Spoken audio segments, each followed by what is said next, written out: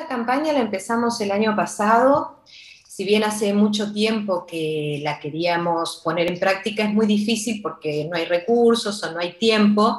Entonces, bueno, al final este, empezamos con fotos que empezamos que, que, publicamos en Instagram de diferentes personas conocidas por los medios, deportistas, periodistas, etcétera, con carteles que decía paremos el bullying, el hashtag ya no está solo, ya no está sola, un poco para ir sensibilizando, bueno, que sensibilizando ya lo vengo haciendo desde hace casi 12 años, ¿no? Y ya van dos proyectos de ley que se presentan y no hemos tenido respuesta.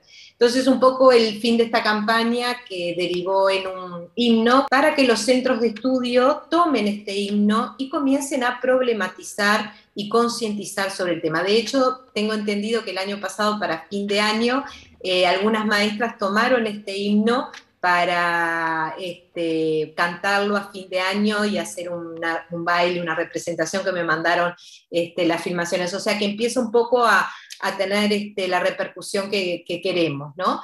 La idea de la campaña es que pase a ser un, un, tema de Estado la prevención del bullying, como es en la mayoría de los países del primer mundo. Nosotros somos uno de los pocos países que no abordamos esta problemática, que no sensibilizamos y que tampoco tenemos una legislación que proteja a las víctimas y a su familia del terrible daño que causa. Sé que no quieres ir, ya son muchos días de pasarlo mal y de llorar, de ir a estudiar, de intentarlo y no poderte concentrar sin saber qué van a hacerte cada día, sin saber qué es lo que irás a soportar.